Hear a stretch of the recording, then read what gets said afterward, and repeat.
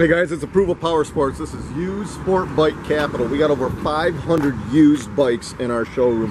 One we're doing a video on. These are uh, this is a cool bike. It's a 2016 Yamaha R6 60th Anniversary Edition.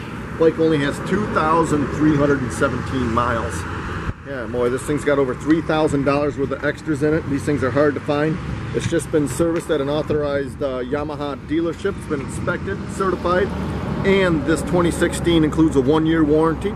It's loaded up with the Two Brothers carbon fiber exhaust, got the frame sliders, blacked out windscreen, fender eliminator kit with integrated LED brake light and rear turn signals. It's a lot of bike. 2016 60th anniversary R6, 2,300 miles, 99.99. Visit our website. It's approvalpowersports.com. We got over 500 used bikes. We got guaranteed financing.